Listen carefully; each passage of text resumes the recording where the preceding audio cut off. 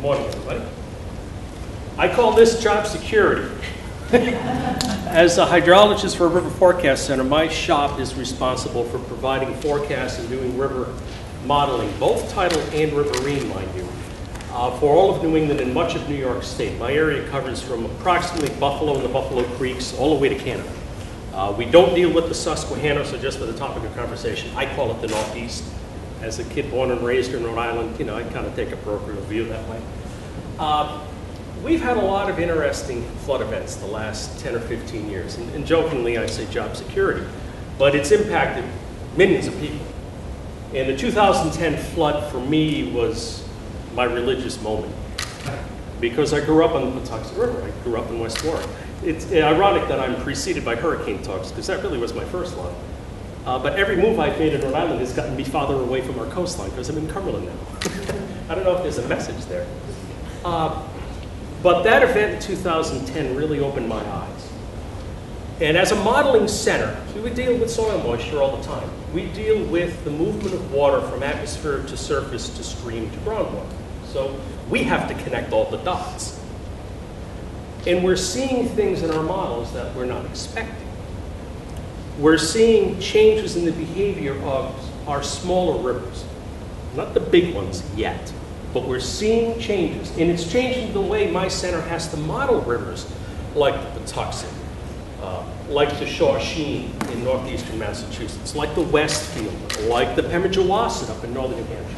So it's not just a Rhode Island thing, it really is across my whole service area. And those changes to me are a combination of what I call a mixture of ingredients. Now, as we go through this talk, I put a couple of caveats out there. I'm a meteorologist by degree, I'm a hydrologist by career selection, but I've got the advantage of having lived here my entire life, thankfully. I've been very fortunate to, to say I'm still a Rhode Islander and I hope to die a Rhode Islander. Uh, I love it here, my kids love it here. Uh, it is home. And I hate to see loss of life and damage at home. It hits you. I'm not a climate scientist, so I'm not going to try to fool you into what is or isn't. I'm a practitioner. This is what I do for a living. Be it the hurricane discussion that Dr. Ginis provided to you. Uh, Matt, excellent. Low frequency, high impact events, people don't listen, period. It's hard to get them to move. God, we need your help, the media, to get them to move when we have big events. And we saw the same thing transpire a week ago in Denver, Colorado. They had had big floods in Thompson Canyon before. I drove through about 10 years after the first one. And what did we do to? Did it again. For me in New England, it's changing the way I do business. But I'm not going to try to tell you what the end state is. I don't know. I'm as anxious to know as you are because my kids are going to be the ones building the homes and buying up the coastal properties in the years to come, right?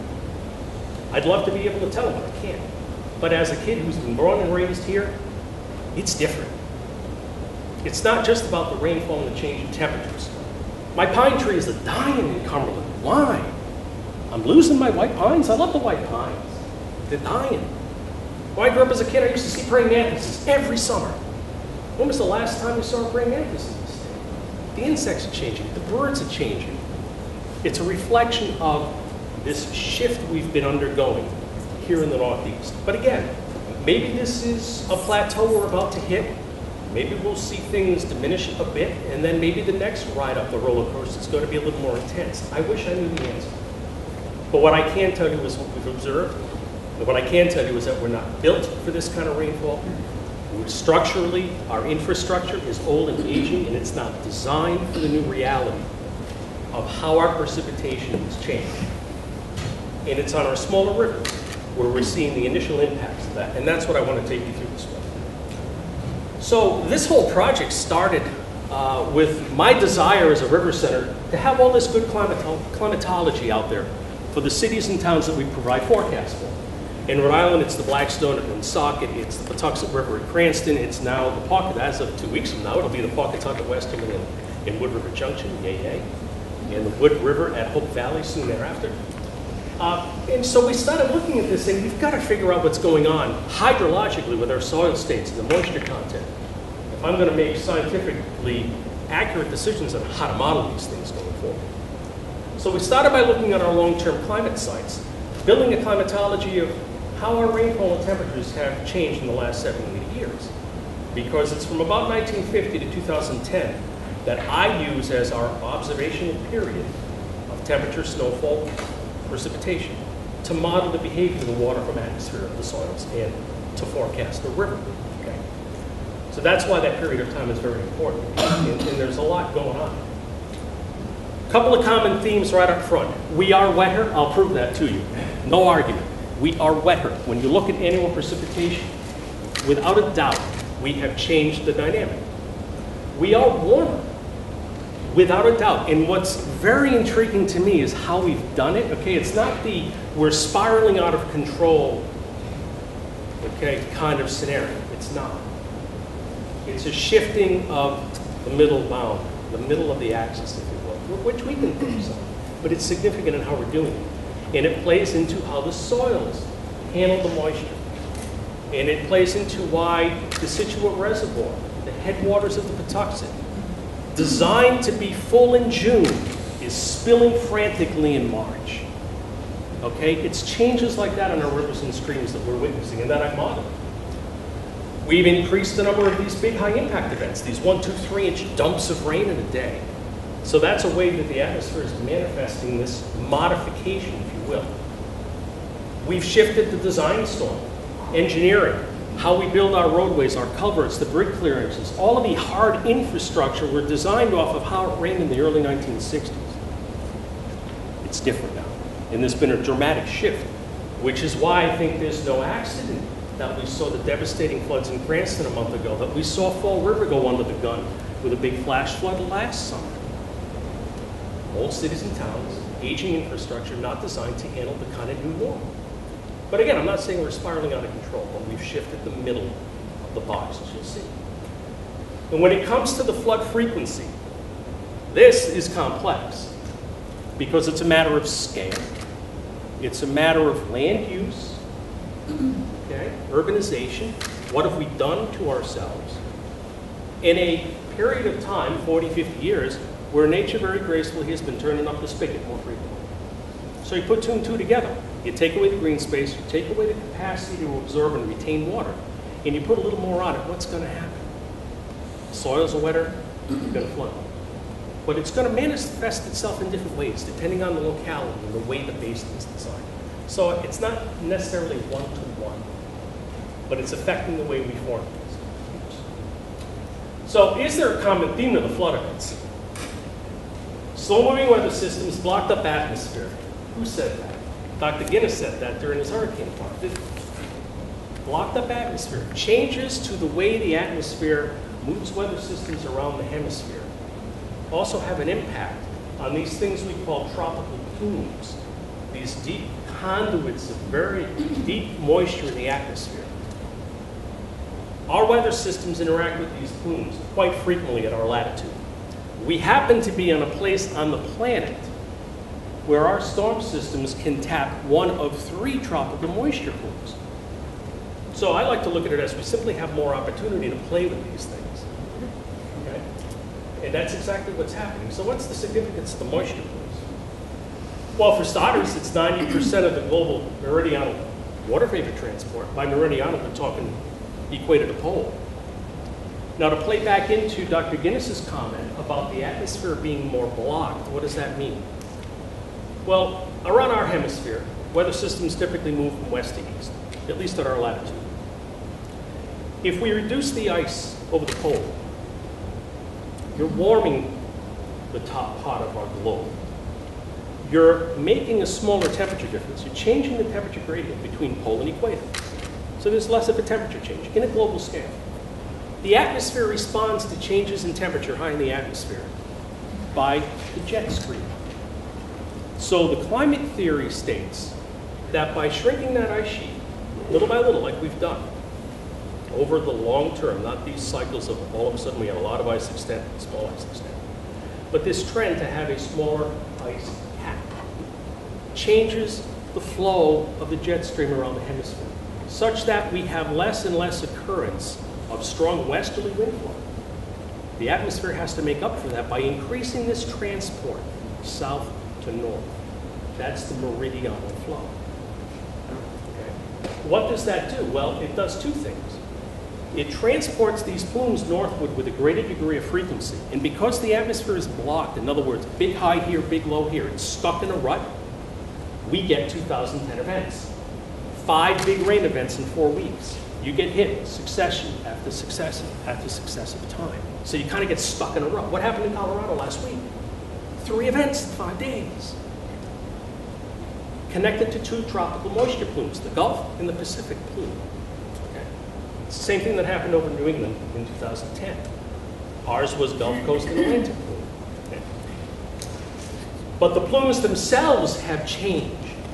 We're measuring contents of water in these plumes we've never seen before. Okay? We're increasing the capacity of these plumes to hold water and moving that water in the water vapor state to our latitude with greater frequency. Why is it holding more moisture? We believe, hypothetically, it's related to a warming climate, warming ocean and warming atmosphere.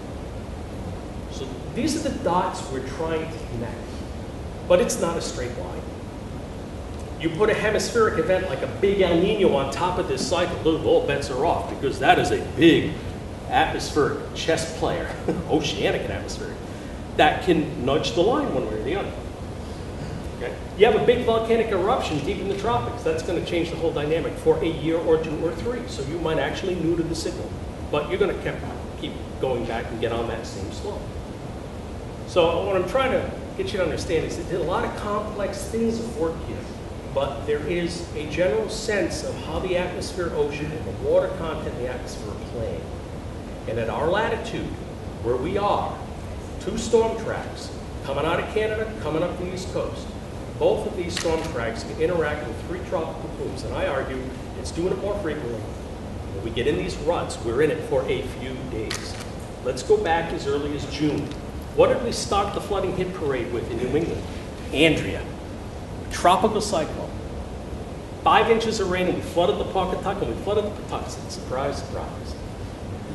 And what did we do to New York State a week later? Same environment, we nudged the plume about 100 miles west, and we obliterated the town of Oneida, New York. Big flash flood. So this is the way the atmosphere tends to play out. And I have the arduous task of trying to figure it all out for you today. So, the climate hypothesis. These streams of moisture you see, there's one really good one. If you look, they're coming across Mexico up into the southeast. This was the beginning of the sequence of events in 2010 that laid waste to parts of Rhode Island. Just to give you an idea of how global in scale these, moisture feeds are. That's a big one that goes all the way into the roots of the Pacific, cutting across Mexico, grabbing Gulf moisture and so on. So hemispherically, it's all related to how the jet streams are being modified. We're warming on a large scale, ocean and atmosphere, gradually, gently It gives the atmosphere the capacity to hold a little more water vapor. So the moisture plumes get a little more beef. And at our latitude, with our type of storm tracks, we play in that sandbox a little too frequently for my liking. All right. Questions on the kind of science connection here. It's a lot I'm throwing at you. But in essence, it's a little warmer, it's causing more water in these plumes vapor for the storms to act on. And with the modifications of the ice sheet, we're changing the jet stream configuration so that we tend to get in these ruts more often. And now we're going to look at how that's been manifesting itself over the last so many years. Okay? What I have here, and for the cheap seats, my apologies, I realize the font's hard to see. You just have to trust me. Uh, from left to right, we have um, the observed annual, that's the yearly temperature, high, low every day, divide by two, and then add them up over 365 or six if it's a leap year, and, and you got yourself an average annual temperature.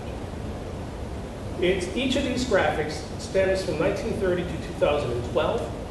This is annual air temperature. So our annual temperature at Providence in the upper left, Portland, Maine in the upper right, Hartford, Connecticut in the lower left, Burlington, Vermont in the lower right. So I'm trying to give you the New England perspective. What I want to point out to you with temperature, and what is to me the more dramatic feature, is where the yellow circles are. We aren't cold anymore. We don't see below zero low temperatures anymore, or rarely here near the coast. We are warming by actually losing the cold years, and that's very dramatic. An annual temperature of, say, 48 or 49 degrees simply doesn't exist anymore. Now, over the span of this period of time, we averaged about an increase of air temperature, annual temperature, about one degree Fahrenheit every 50 years, plus or minus. Couple of places a little more. Burlington, it's been only 33 years. Hartford, as much as 88. They're a valley location close to a river, so there's some, some argument there of sheltering and so on, which is why they may not be as, as warm at night as the metropolitan. But that's a huge shift. You increase your annual average temperature two years in a century, and you're talking you got a climate like New Jersey. It's a shift. Okay? So, but look at also, I think it's no accident, oops, that in the red circles we're seeing a clustering of these warmest years all in the last 20 years. This is the actual data from each one of these long-term recording stations. It's dramatic to me, very dramatic to me, that you have such a strong signature of losing the real cold years that my grandparents used to experience, right? Grandpa walking uphill both ways in the snowstorm, okay? They don't exist anymore. Fascinating to me. But we are warm. We are seeing an increase in these 90 degree or warmer days. It's happening. And we're seeing a reduction in the number of days below zero. That changes things changes the dynamic, vegetation, birds, insects, that, and flooding. Precipitation. What you have here from 1930 to 2012 is the annual precipitation at each one of these sites, Providence, Portland, Hartford, Burlington. Look at the strong signatures, the clustering of the wet years since 1970, and a dramatic reduction in the dry years. That changes things. That changes the way I model rivers. It changes how our rivers and streams respond because these are strong signals. At TF Green Airport, we are averaging an increase in annual rainfall of an inch every eight and a half years. That's a lot of water. And it's how it rains itself out. That is, it's why we are seeing this increased flooding in these small watersheds that simply have lost the capacity to hold. Another way of looking at this is by looking at the good old 100-year rainfall event right? Everybody knows it doesn't mean you can only get it once in 100 years. Okay, it's the one, it's the value of rainfall measured over 24 hours that has a 1% chance of occurring in any given year. Okay. But why is that number important? Because that's what we design on. And we've been designing off the 1961 study for 50 years. Well, today, that design storm ranges from 8.5 to 9 inches. So in other words, that 1% event for one day of rainfall is about 8.5 to 9 inches. You know what it was back in the 60s? 7. That's a 2-inch shift in the design storm. That has huge ramifications to how we build the infrastructure, to the spillway capacities at our reservoirs and at our dams. It's big, it's significant. Another way of looking at that very simply is a percent change. And look at the corridor, it's coastal New England. Would that be a surprise? Where do the majority of our storms track? Right through coastal New England. Another way of looking at it is using the Palmer Drought Index. This is an index that tries to cascade rainfall and accumulated rainfall over six to nine months in its effect on soil moisture. Anything in yellow indicates drought. And the lower the value, the more intense the drought. The green represents a wet state, and the higher the value, the more saturated you are. Look at the change over Rhode Island. As we've moved from 1930 to 2012, those occurrences of dry episodes have not only shrunk in intensity, but they've narrowed or reduced in their duration. Meanwhile, the wet periods are becoming more intense and more duration, longer duration. And that's why our rivers and streams are doing what they're doing. All right. So to wrap this up, we're going to talk about the flood frequency. In essence, what we're seeing is an increase in flooding, either intensity of flooding or frequency of flooding, primarily on our small watersheds. We'll stop with Rhode Island and in Rhode Island. This is the gauge at Woonsocket, looking at the rivers in stream flow from 1929 to 2012. What you see here is that prior to 1970, where this inflection point is from a climate standpoint, what we have seen is a dramatic increase in the number of floods in any given 30-year period. So each bar represents a flood.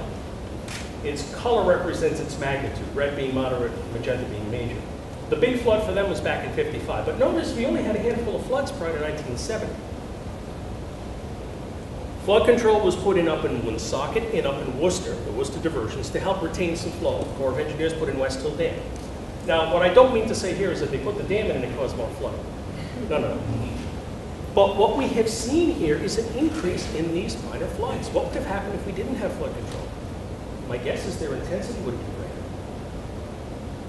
Yet we're still seeing an increase in the number of magenta or red floods. So here we have a small watershed with some flood control that is definitely seeing a change in the number of floods, increase in the frequency of flooding, not necessarily the magnitude.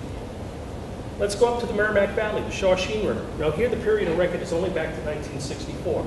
But if you compare, say 1980 back to 1984, notice we've got a big increase, not in the number of floods, but in their intensity. More reds and magentas. That means more moderate and major floods. But not necessarily more of them in a given year or more over that period. So you see how it's how these things play out differently depending on the scale of the basin. Let's go up north to the Pemigewasset River up in Plymouth, uh, New Hampshire. Now this record goes all the way back to the beginning of the century. You know, and they had their big magenta floods, their big, big floods, 36, 38, everybody knows about those. But look at what's happened since 1970. Not only are we seeing more floods, we're getting multiple floods in a year. They're getting whacked two, three times with a lot more frequency, and they're more intense floods. But Hartford, the Connecticut River, where there's a ton of flood control, Army Corps of Engineers facilities that are there to hold and retain water until the flood goes by and then they let the water out. Okay? This is what you'd expect. We haven't seen much of a shift in either intensity or frequency, but I think again it's a matter of scale. That's a huge basin with a lot of flood control. So we've shifted the dial, but not to the degree that these big watersheds are seeing. My poster child is the Tuxet River in Cranston. Look at the lack of flooding from 1968 back to the beginning of when they measured the river. Okay? Very few events. What did we do in the late 60s? We put in two shopping malls and two interstates. That changes the ability of the basin to retain water, does it not? Because you're chucking down impervious surface by the bucket load. At a time when the atmosphere started raining more. And look at what has happened since 1990. Look at the increase in not only frequency, you got a busy job. Increased frequency and intensity of flooding on that kind of watershed. So that's what I'm getting at. So to wrap it up, New England is a hot spot, one of two that other federal agencies are identifying. The U.S. Geological Survey, who owns and operates all of these stream gauges, they're seeing it too. The Red River of the North and New England and New York seem to be two hot spots where we're seeing this kind of trending of precipitation and temperature and a, a very dramatic response in stream flow and flood frequency. I, I'd like to think there's got to be a dry side to this, but I'm not convinced anymore. What we're seeing is if we get a dry period, it's intense, but it's very short duration. Thankfully, a lot of our water supply reservoirs are built for the two-year drought that we had in the 60s. I'm not so concerned about running out of water anymore. I'm worried about more and more people with greater frequency having to deal with the flooding we've seen in the last 10 years. So, thank you.